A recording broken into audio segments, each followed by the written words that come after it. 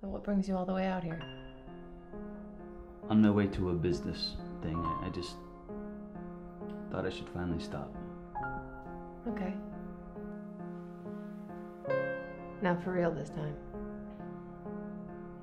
When I was with you, he was here with us around. I just thought maybe he How are you still doing this to yourself?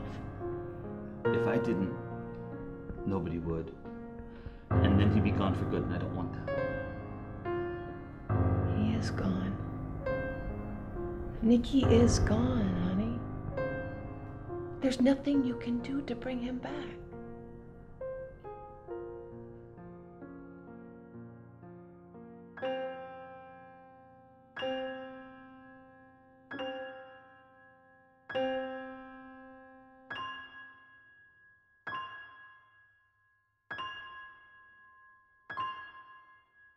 Where are you headed?